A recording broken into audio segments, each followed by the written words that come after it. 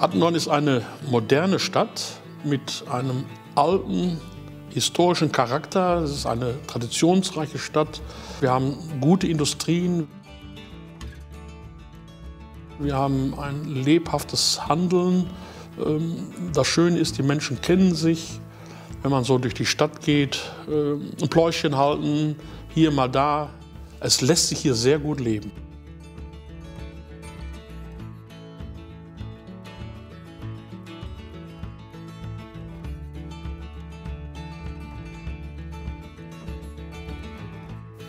Man ist gerne hier. Auch früher war es immer so, wenn man dann mal im Urlaub war mit der Familie.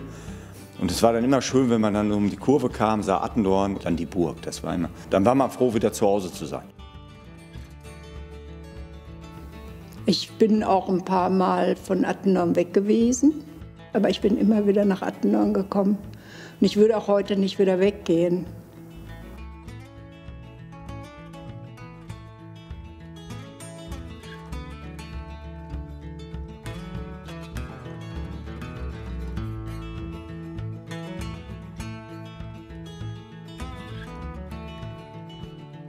Stadt Attendorn hat etwas mit Traditionen zu tun. Und die Traditionen in Attendorn, vor allen Dingen Karneval, Ostern und Schützenfest, sind die große Klammer, die uns alle in Attendorn zusammenhält.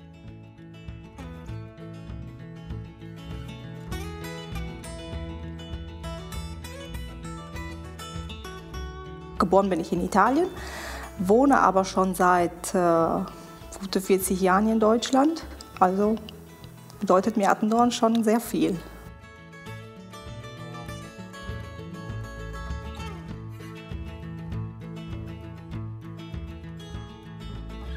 Attendorn ist eine reiche Stadt, war immer eine reiche Stadt, auch zur Hansezeit. Wir haben hier eine starke Industrie mit wirklich auch mutigen Unternehmern, die alle hier vor Ort in der Regel wohnen, auch hier im Straßenbild sich zeigen, auch am Brauchtum teilnehmen. Wir haben eine qualifizierte Arbeitnehmerschaft und von daher diese Mischung und äh, die wird dafür sorgen, dass wir hier immer gut dastehen.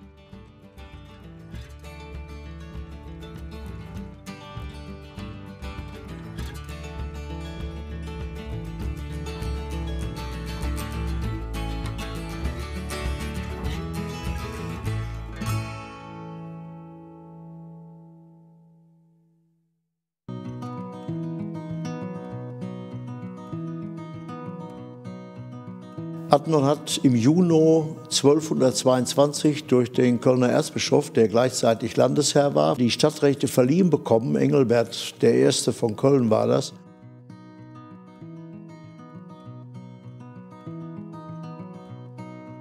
In Attendorn gab es seit Jahrhunderten schon einen wichtigen äh, Schnittpunkt zweier Fernverkehrsstraßen. Und die Sicherung dieser Kreuzung war besonders wichtig für den Fernhandel. Und deswegen war es also eigentlich nur eine Frage der Zeit, dass Attendorn dann zur Stadt erhoben wurde.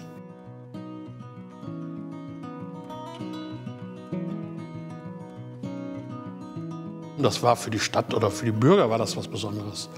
Ähm, das Recht, einen Rat zu wählen zum Beispiel, das Marktrecht, ähm, die Stadt zu befestigen, sich zu beschützen, das waren schon große Privilegien. Das ist schon eine großartige Geschichte gewesen, dass so eine kleine Siedlung, so also ein kleines Dorf im Sauerland Stadtrecht erhalten hat. Das war schon, schon was ganz Besonderes. Von dem Zeitpunkt an begann hier ein reger Handel. Und 1256 wurde Attendorn Mitglied dieses Rheinischen Städtebundes. Und das wiederum war dann der, die Initialzündung, dass Attendorn Mitglied der Hanse wurde. Man vermutet ja gar nicht, dass ein kleines Städtchen mitten im Sauerland Hansestadt ist. Aber das waren auch wieder die großen Fernverkehrsstraßen, die da ursächlich für verantwortlich waren. Man konnte also von hier aus auf direktem Wege nach Köln fahren und von dort aus seine Waren äh, auf den Rhein verschiffen. Die Hansekaufleute haben dann später bis nach London und von da ausgehend im gesamten Nord- und Ostseeraum ihre Waren verkauft. Durch den Handel kam der Reichtum aus den Küstenstädten durch die Attendorner Kaufleute zurück in die eigene Heimatstadt.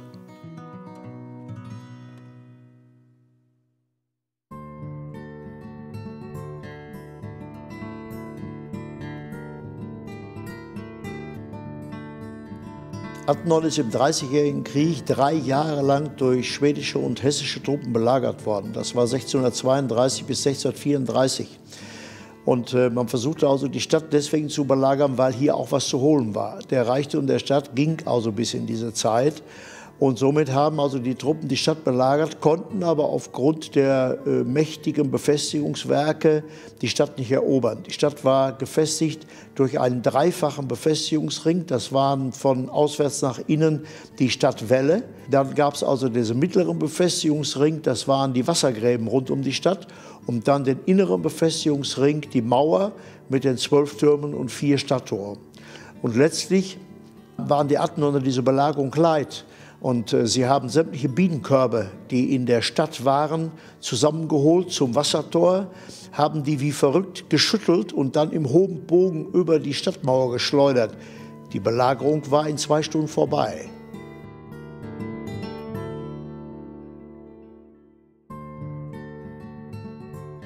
(1783) hat eine Frau in unserer Stadt, Katharina Schnüttchen, die Stadt angezündet. Ähm, das muss ein Sonntagnachmittag gewesen sein und es war sehr verheerend. Mittlerweile vermuten wir, dass sie an Depressionen litt. Sie hatte Angstzustände. Der hat dann ihr Haus angezündet und der Wind blies dann vom Wallenburg runter in die Stadt und innerhalb zweieinhalb Stunden war die Stadt in Schutt und Asche. 33 Menschen kamen in diesen Flammen um und danach war Attendorn im Grunde genommen eine einzige Ruine. Und die letzten Häuser von dieser Katastrophe wurden erst in den 1830er Jahren wieder aufgebaut.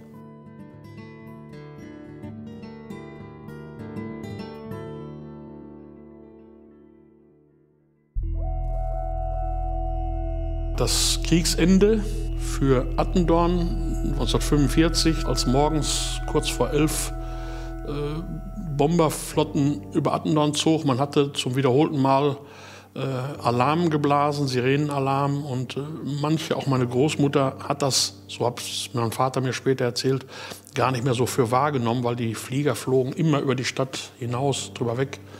Ähm, ja, dann passiert es. In drei Wellen knallten die Bomben hier runter, zerstörten sehr viele Häuser, hauptsächlich den Südteil der Stadt, mit einem Volltreffer im Kirchturm oben und ja, viele Menschen starben.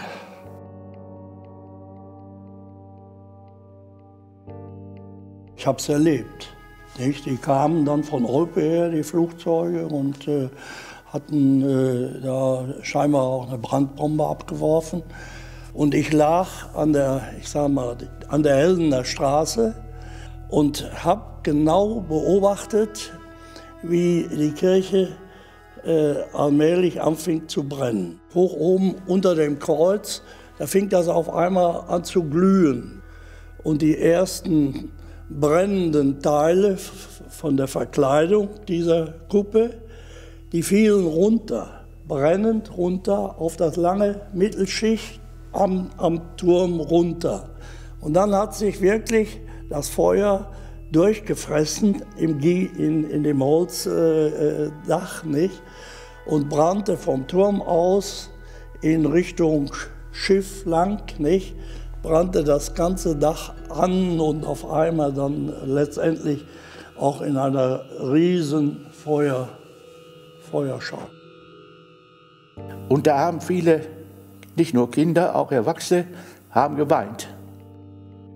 Dann haben wir auf einem etwas äh, Hügel gestanden, etwas erhöht und haben auf die Stadt geschaut und haben dann gesehen, wie Adnon brannte.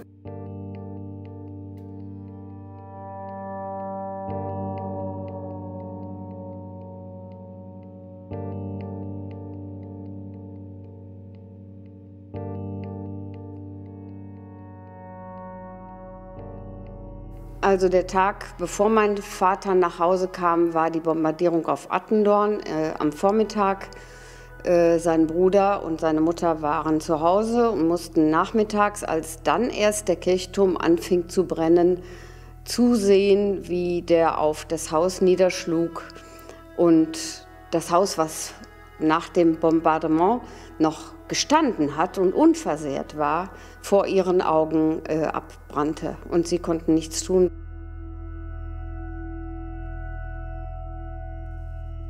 Zum größten Teil waren also die Gebäude in der Südstadt komplett vernichtet.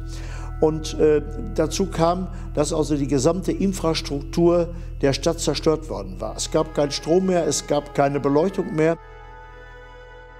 Als ich dann durch die Stadt gegangen bin, das hat mir sehr, sehr wehgetan, äh, auch als elfjähriger Bursche, äh, meine Stadt, die so erlebnisreich war, äh, dass ich da doch, äh, wie gesagt, äh, sehr, sehr traurig war.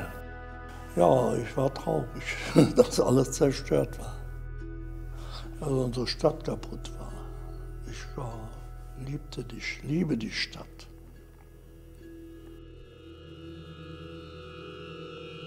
Damit schien dann der Krieg eigentlich zu Ende zu sein. Am 10. 11. April kamen die Amerikaner und nahmen die Stadt ein. Die Amerikaner kamen von oben her und äh, ich war sehr neugierig und war draußen und äh, da kam der erste Soldat, kam so auf mich zu und da dreht er sich mit dem Gewehr so rum, das sehe ich noch wie gestern. Und dann rief er, in Keller, da sprach der Deutsch, in Keller, genau so war der Sprache. Und dann bin ich natürlich ins Haus gelaufen. Die deutschen Soldaten, die äh, hatten sich da unten verschanzt und die schossen von da unten rauf auf unser Haus zu. Äh, und die, die ersten Schüsse, die sie wohl da abgelassen hatten, die lagen viel zu tief. Die waren äh, unter dem Wohnzimmer in den Kellerbereich. Das war eine Sprenggranate gewesen und die war geplatzt und hatte äh, da, da, das Eingemachte und was da stand zerstört. Äh, und äh, äh, da hatten wir dann hatten zwei Schuss losgelassen, da hatten wir dann zwei solche Löcher im Haus nach außen. Ja, und die äh, Amerikaner hatten von oben zurückgeschossen und hatten sich dann aber schnell aus dem Haus wieder rausgemacht. Und wir blieben im Keller, äh, weil es draußen noch weiter rumorte.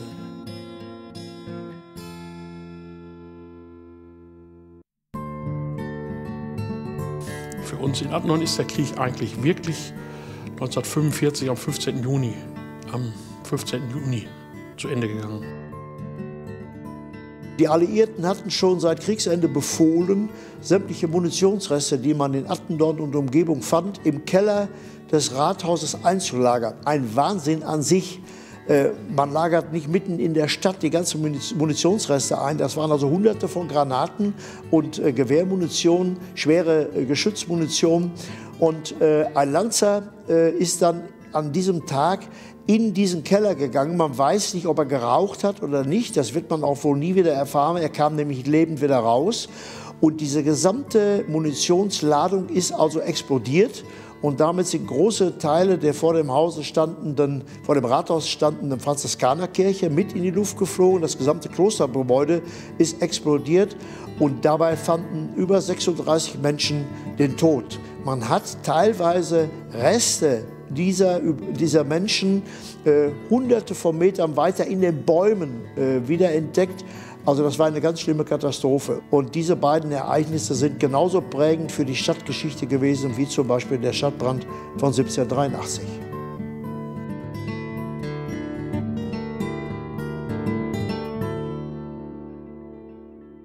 Dann kam auch wieder die Zeit des Aufbaus.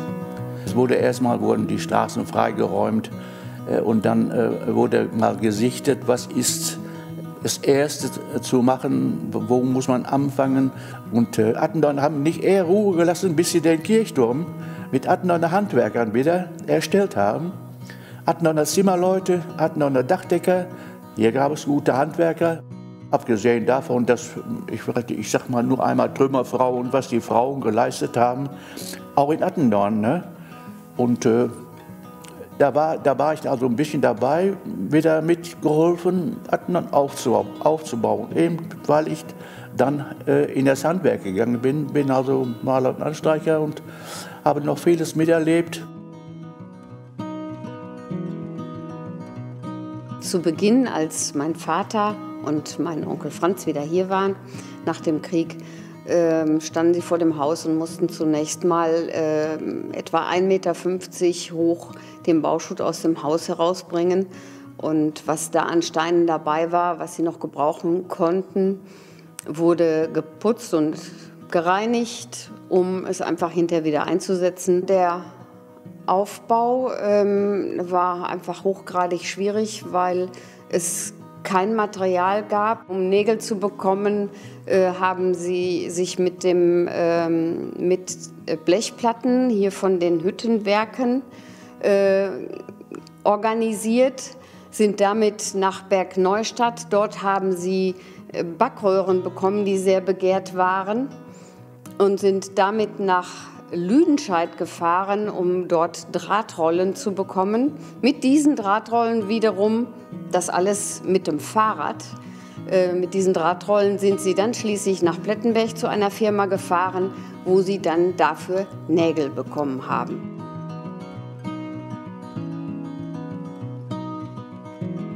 Die beiden waren jung, ja, und haben versucht, das alles zu bewerkstelligen, was ihnen dann auch innerhalb von so anderthalb Jahren äh, war das Haus dann fertig und sie konnten wieder einziehen.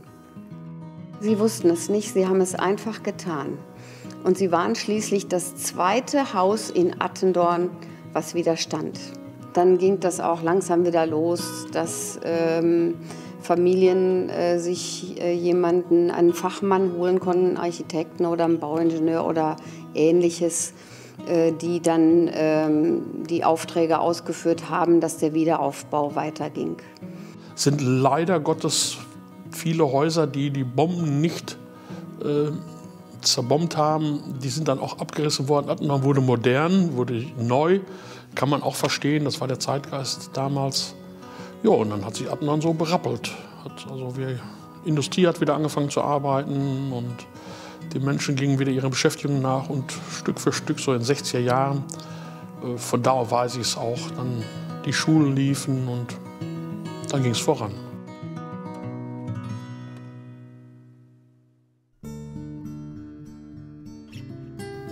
Also die Stadt hat sich in der Zeit nach 49 insbesondere dem Problem stellen müssen, dass ja hier auch verstärkt Flüchtlinge und Vertriebene kamen. Das war ja im Vieltausenderbereich der Zuwachs an Bevölkerung dann hier. Ja, wir sind zu Hause rausgeflogen in Schlesien. Morgens um 8 kam der Bürgermeister, der polnische, und sagte, um 10 Uhr haben Sie mit der ganzen Familie auf dem Sportplatz zu stehen. Sie werden Ihre Heimat verlassen müssen. Gepäck nur, Handgepäck. Und ja, und dann ging also die ganze Reise los. Von Siegen nach Grevenbrück sind wir das erste Mal in einem Personenzug gefahren mit Gepäcknetzen und anständigen Bänken. Und da kamen wir uns wieder so ein bisschen wie normale Menschen vor. Äh, denn von Grevenbrück aus sind wir mit einem Lastzug nach Attendorn gefahren worden und wir sind hier eingetroffen am 25. April 1946. Und zwar in das Barackenlager der Firma Moore und Bender. Und da kamen wir in einen Raum, etwa acht mal acht, und zwar unsere achtköpfige Familie und noch eine andere befreundete Familie, ich glaube so ungefähr 14 Personen. Da waren also nur eiserne Bettstellen mit einer äh, Strohschütte, aber kein Strohsack, sondern das Stroh wurde durch eine Schicht Wellpappe zusammengehalten. Und ein Tisch war da, rechts und links Bänke ohne Lehne und zwei Schemel und ein Spind. Das war alles. Es war kein äh, Geschirr da. Äh, ich glaube, dass die Menschen hier im Westen auch überrascht worden sind. Wenn wir innerhalb von zwei Stunden rausflogen, dann mussten die ja wahrscheinlich auch ebenso überrascht sein, dass so viele Leute kamen.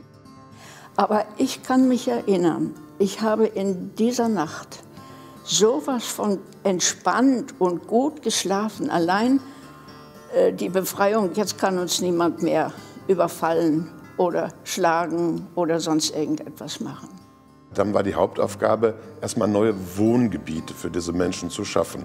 Es lebten ja zu der Zeit in den 50er bis in die 60er Jahre hinein auch noch einige Menschen in den alten Lagern, die hier für Kriegsgefangene äh, gebaut worden waren, also Barackenlager. Und äh, bis Ende der 50er Jahre haben auch noch etliche der gerade Vertriebenen und der Flüchtlinge in diesen Lagern gewohnt. Aber dann hat man das Schwalbenol neu gebaut. Das ist ein Riesenbezirk hier außerhalb der Innenstadt.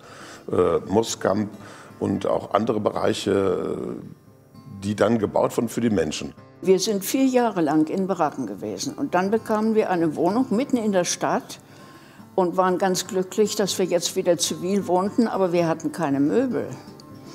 Und äh, Vater hatte ja ein ganzes, äh, ein ganzes Jahr keine Einkünfte und als äh, wir dann hierhin kamen, hat er in der Fabrik gearbeitet, damit wir genug eben zu essen hatten. Das habe ich miterlebt natürlich als Kind, als Schüler, evangelische Schulen, beziehungsweise eine evangelische Schule, alle anderen waren ja katholisch.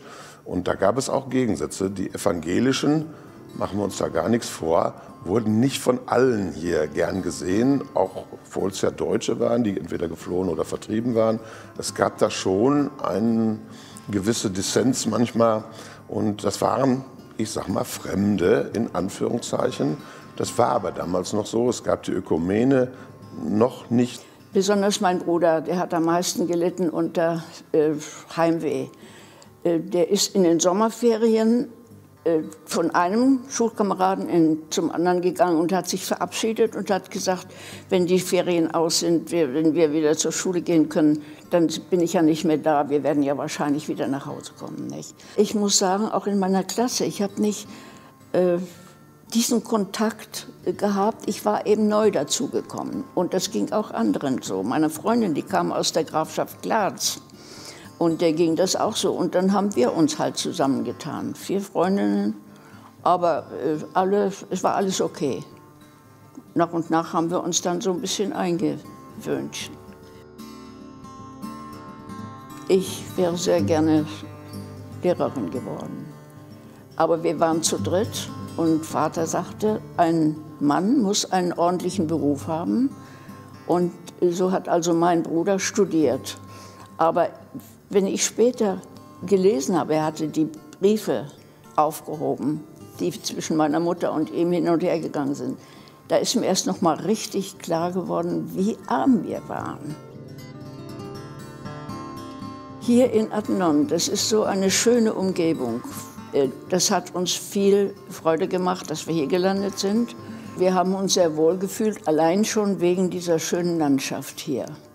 Wir sind viel gewandert und haben nach und nach auch in die, um die Umgebung dann äh, kennengelernt und auch die Stadt sonst und was in der Stadt los war. Äh, auch äh, die Osterprozession und so weiter. Wir wohnten unmittelbar neben der Kirche und hätten das alles vom Fenster aus sehen können, aber wir haben es natürlich mitgemacht dann. Ne?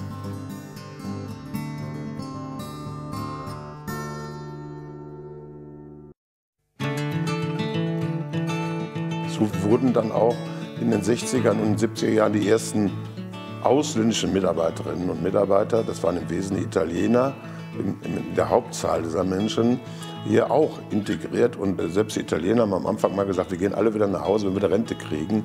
Und viele, viele, Gott sei Dank viele, sind hier geblieben. Und es gab 800 Firmen, die sind nach Süditalien in bestimmte Dörfer sogar, in bestimmte Regionen ganz gezielt dann gefahren und haben gesagt, ihr könnt zu uns kommen. Also ich bin 1968 äh, in Deutschland gekommen, weil ich eben arbeiten wollte und mein Vater wollte mich gar nicht gehen lassen. Er musste damals unterschrieben, das hat er auch getan. Und äh, nach und nach sind auch die alle hier hingekommen und damals äh, haben sie in eine Ecke gestellt, da haben wir gearbeitet, Geld gekriegt und fertig. Ja, die erste Zeit in äh, Rottwald war ein bisschen schlimmer. Man kannte die, die Sprache nicht. Und ich habe mich richtig gut gefühlt, ich nach, nach Attendorn gekommen bin. Und ich habe hier dann eine, eine Schweizer gelernt. Und dann habe ich beim Moment angefangen. Da waren auch viele Italiener da. Ich konnte die Sprache schon ein bisschen gut. Und da habe ich mich richtig engagiert auch. Insgesamt hat er um die 800 äh, Leute gehabt, davon waren 250 Italiener. Andere Nationalität gab ein paar Spanier, aber die, die meisten waren alle Italiener. Meine Eltern sind nach Deutschland und dann sind wir noch, meine Schwester und ich, noch in Italien geblieben bei der Oma. Und dann sind wir vier Jahre später erst nach Deutschland geholt worden. Und wo meine Eltern nach Italien runtergekommen sind, um uns zu holen, wollten wir gar nicht mit. Wir wollten bei Oma bleiben. Ich war fünf, meine Schwester war dann sechs. Also sind wir dann nach Deutschland und dann praktisch direkt in eine Schule. Also Kindergarten, das haben wir gar nicht gemacht, weil war ja auch war natürlich sehr schwierig, weil wir kein Deutsch konnten. Man hat natürlich in der Schule auch immer sehr schnell Freunde gefunden. Es waren ja auch Kinder dabei, die genauso waren wie wir, die auch nur Italienisch konnten oder mit denen man auch Italienisch reden konnten, weil die dann schon länger in Deutschland waren und beide Sprachen konnten. Also es war schon trotzdem alles machbar.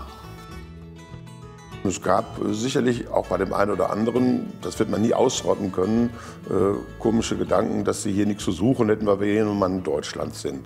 Aber das ist relativ schnell auch aufgelöst worden dadurch, dass man persönliche Beziehungen aufgebaut hat. Die wohnten jetzt ja nun in, den, in der Nachbarschaft, im Hause und äh, die Kinder waren hier dann in den Schulen und äh, es hat dann schnell auch ganz schnell persönliche Verbindungen gegeben. Und insgesamt ist das doch mehr als hervorragend gelungen, die Integration. Wo man äh, geboren ist, kann man nicht vergessen, ist klar, ist meine Heimatland. Aber ich sage, ich bin heute ein Attendorner und will ja ein Attendorner bleiben. Und was besser konnte mir nicht passieren. Wir in Attendorn fühlen wir uns nie als Ausländer, wir fühlen als Attendorner, alle, die da sind.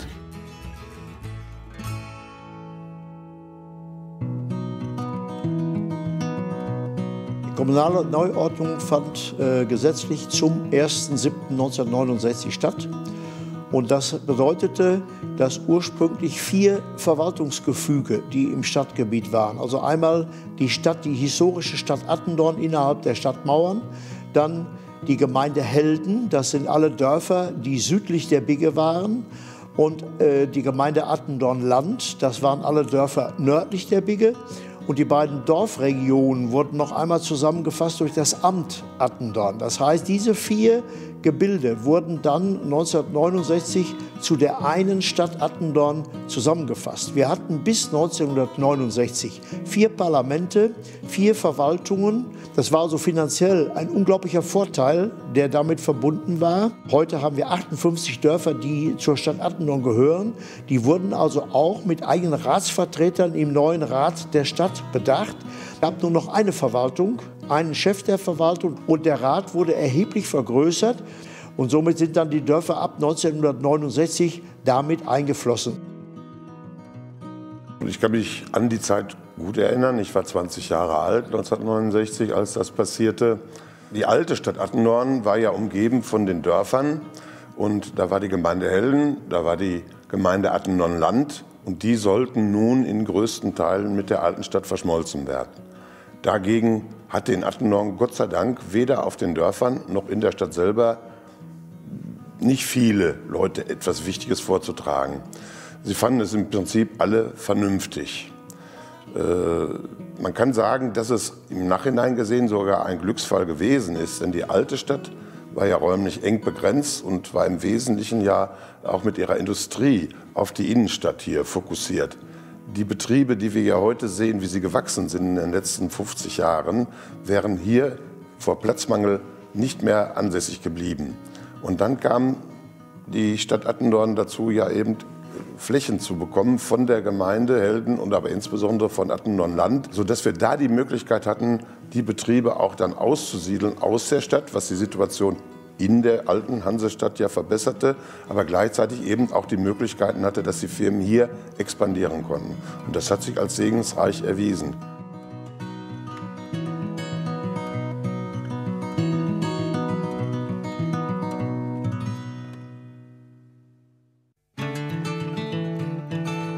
Wir pflegen Karnevalsbrauchtum, wir pflegen äh, Osterbrauchtum und Schutzebrauchtum. Und dazu kommen noch viele Aspekte des kirchlichen Brauchtums, denn der kirchliche Kalender äh, ist eigentlich das seit Jahrhunderten das Grundgerüst für alles Brauchtum. Ohne die Fastenzeit gäbe es keinen Karneval und ohne die Karwoche gäbe es kein Ostern. Und die Schützenfeste, die gab es also in Attendorn nicht erst seit preußischer Zeit, sondern eben auch schon seit dem Mittelalter. Das heißt, Brauchtum in Attendorn, das ist also eine Sache, die über Jahrhunderte von Generation zu Generation weitergegeben wird in die nächste Generation. Das verbindet. Das ist einfach die Geselligkeit. Das ist die Zusammengehörigkeit, die durch sowas auch entsteht.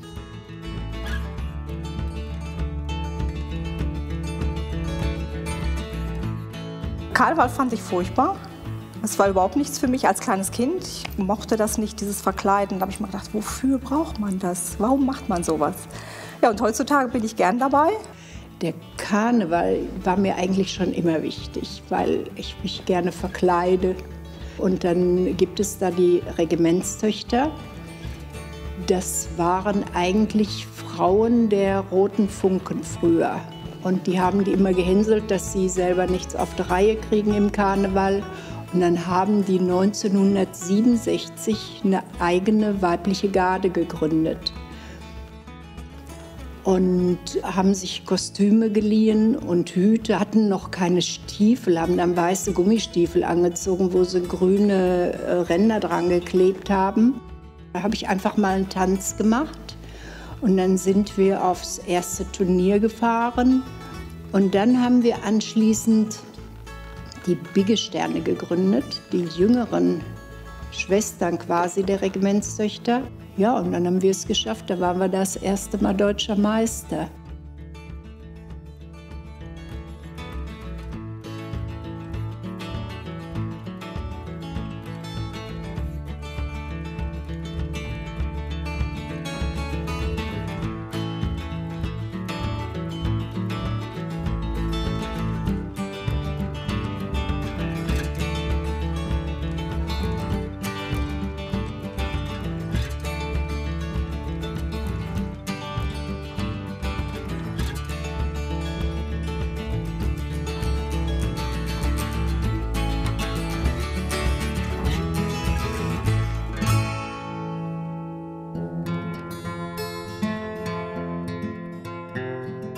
Ostern.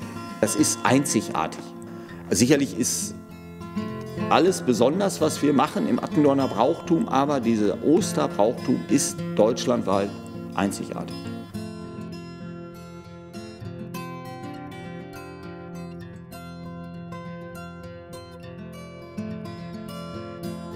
Das ist was ganz Besonderes, äh, so in dieser Art auch einzigartig, äh, ist nirgendwo anders nachzuweisen. In der Nacht von Karfreitag auf Kar-Samstag backen die Bäcker in unserer Stadt ein spezielles Brot, den sogenannten Ostersemmel. Interessant ist allerdings, dass die Enden des Brotes jeweils eingeschnitten sind und es ergeben sich so Hörner oder die Flosse des Fisches, kann man so sagen. Kar-Samstag um 14 Uhr treffen sich die Menschen unserer Stadt an der Pfarrkirche und der Pastor kommt raus und segnet diese Brote. Und das ist der emotionalste Bereich. Wenn viereinhalbtausend Menschen werden es sein, ich weiß es nicht. Wenn die ihre Brote hochrecken und lassen die von Pastor unserer Stadt segnen und dann kommt großer Gott, wir loben dich, das ist toll. Es, es macht Spaß, Leuten, die nicht mehr da sind, zu Ostern den Semmeln zu schicken. Und so bekloppt es sich anhört, um 14 Uhr stellen die sich, ob die in Argenbühl in Bayern sind, im Allgäu, stellen die sich dahin und halten den Semmel hoch. Das ist einzigartig.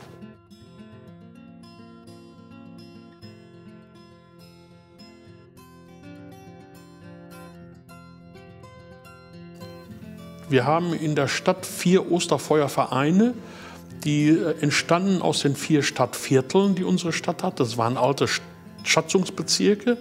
Und die benannten sich später danach nach den Stadttoren. So haben wir vier Osterfeuervereine. Die werden später als Porte bezeichnet. Vier Wochen vor Ostern gehen die Männer und die Kinder in den Wald und sammeln Osterholz. Das sind Reiserbündel. Die werden auf einen Kopf gefahren, auf eine Anhöhe. Das ist ein Platz vor den Toren der Stadt. Jede Porte hat seinen eigenen Osterkopf. Die sind auch grundbuchamtlich eingetragen, damit da nichts bebaut werden kann. Also alles sicher. Dann wird Karfreitag morgens äh, jeweils ein Baum ausgesucht. Und am Ostersonntagmittag, so kurz nach Mittagessen, werden die Kreuze vorbereitet. Das gesammelte Holz wird drum gebaut und um 21 Uhr wird das Ganze angezündet.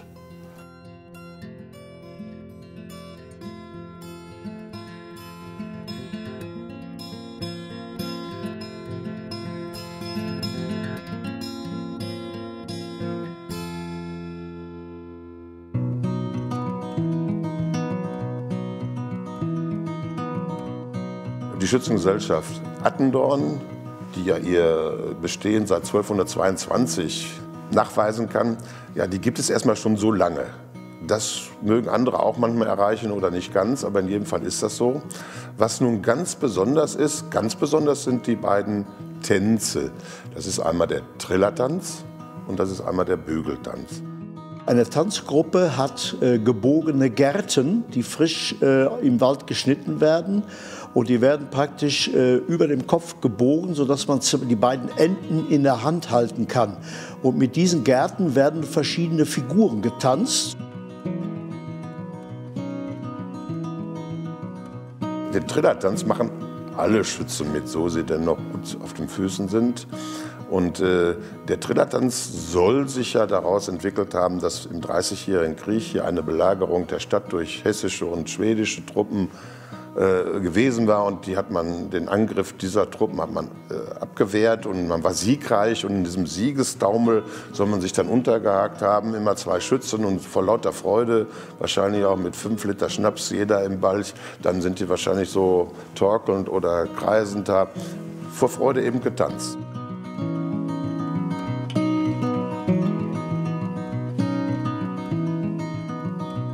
Ein ursprünglicher in Spanien entstandener Mauriskentanz. Und dieser hat sich über ganz Europa im Mittelalter verbreitet und wird aber nur noch in Attendorn getanzt. Das ist also ein Schauspiel, das äh, alle fünf Jahre in Attendorn tausend von Besuchern anzieht. Und dieser Trillertanz ist tatsächlich nur noch einmal, nämlich hier in Attendorn, überliefert.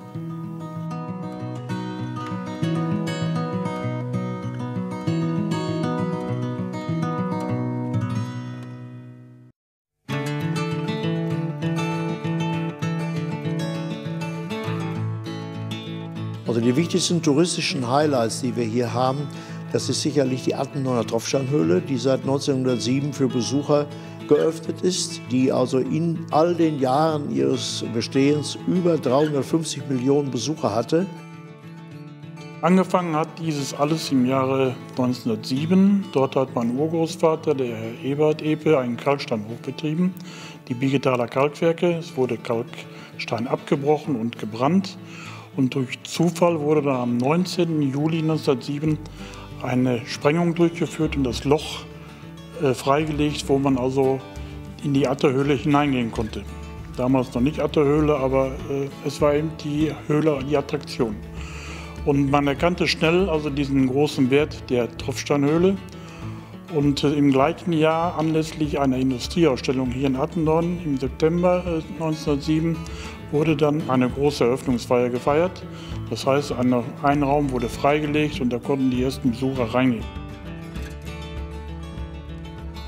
Das Kalkbrechen äh, wurde nachher finanziell nicht mehr so lukrativ und somit hat sich mein Urgroßvater entschlossen, mit eigenen Mitteln und eigenen Leuten die Atterhöhle, wie sie heute da steht, auszubauen.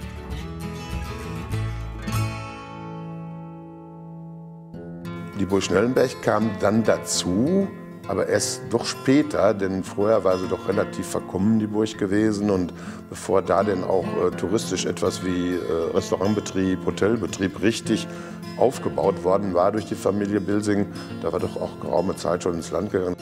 Sie thront oberhalb der, der, äh, der Stadt Attendorn, ist eigentlich für jeden, jeden sichtbar und äh, jeder verbindet das damit.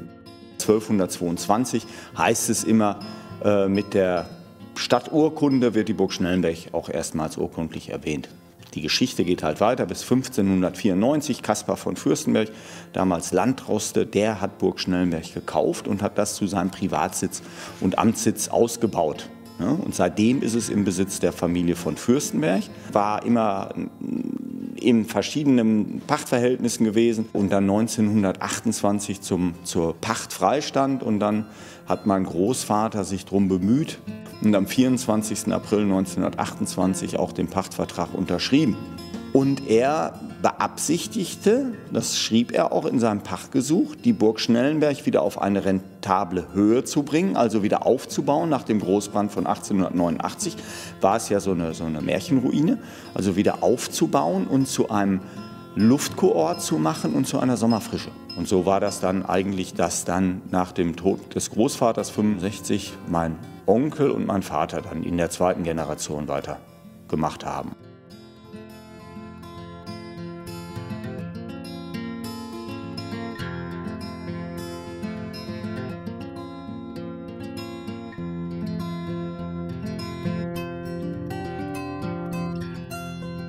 Dann gibt es natürlich seit 1965 die Biggetalsperre, die einen unglaublichen Boom in der Tourismuslandschaft gebracht hat.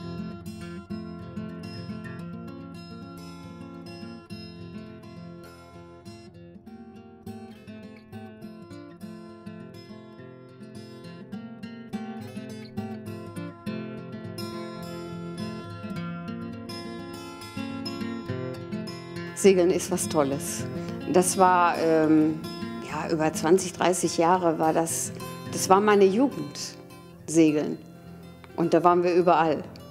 Haben Meisterschaften mitgesegelt, das war toll und waren natürlich selbstverständlich auch immer hier und haben in unserer Bootsklasse jede Regatta hier auf dem Biggesee mitgenommen.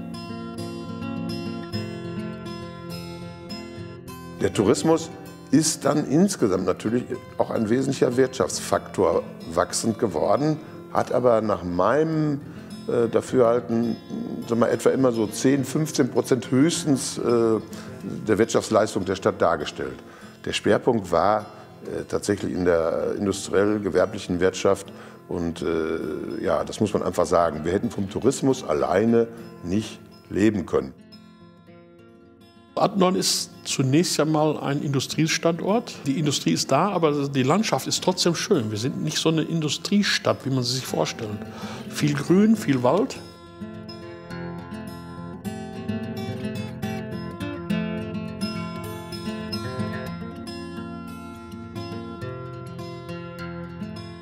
Und letztlich zählt der historische Baubestand in der Innenstadt der Stadt Attendorn, also mit Sauerländer Dom, mit dem gotischen Rathaus, mit den Resten der mittelalterlichen Stadtbefestigung und vor allem der Bebauung in der sogenannten Altstadt äh, eine große Rolle für den Tourismus.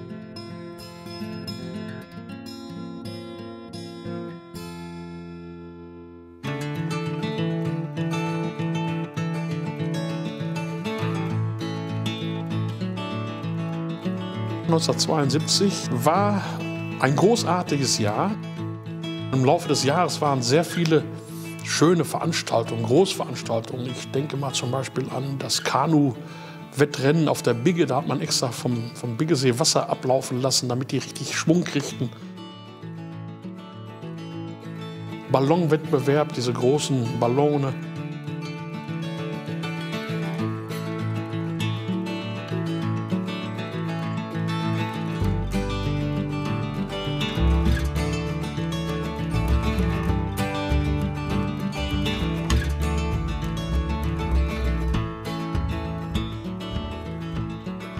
Erinnere mich an den großen Umzug, ähm, wo sehr viele äh, Gilden, sehr viele Handwerker mitgemacht haben. Auch die Karnevalsgesellschaft, auch in alten Uniformen, in alten Kostümen. Es war sehr schön. Der Festzug, das war für uns das Größte. Ich bin damals als Poske-Junge mitgegangen im Zug. Das war ein ganz toller Festzug. Das war fantastisch, ja. Das war so ein Frohsinn, so äh, viel Freude. So habe ich das in Erinnerung. Wir haben immer äh, den ganzen Zug, der durch die Stadt zog, äh, beobachtet. Wir waren am Rand Schaulustige nicht? und äh, kannten auch die meisten Menschen. Es war wirklich ganz was Festliches. Es war eine Euphorie. Die Zeit 72 insgesamt war ja auch, auch eine, noch wieder eine Aufbruchszeit. Auch die Wirtschaft lief auch wie am Schnürchen damals schon und äh, es, es war alles gut, sag ich mal.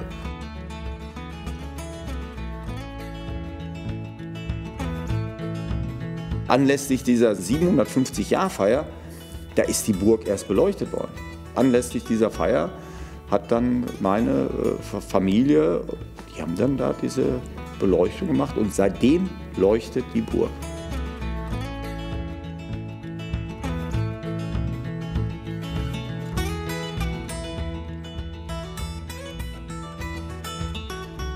Vom Stadtjubiläum 750 Jahre Stadt Attendorn 1972 redet man heute noch.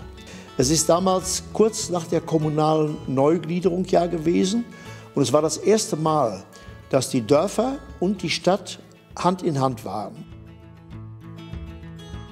Wir haben in Attendorn nie, wie teilweise ja woanders, äh, diesen Dissens gehabt zwischen den zugewachsenen Teilen und dem alten Teil, sondern es war eine Einheit. Das sahen auch die Dörfer so und die haben mitgefeiert. Die wurden auch 750 Jahre alt, genau wie die alte Hansestadt Attendorn es wurde. Dieses Hand in Hand, das ist eben das, was noch als einmaliges Erlebnis, so etwas hatte man bis dahin noch nie erlebt.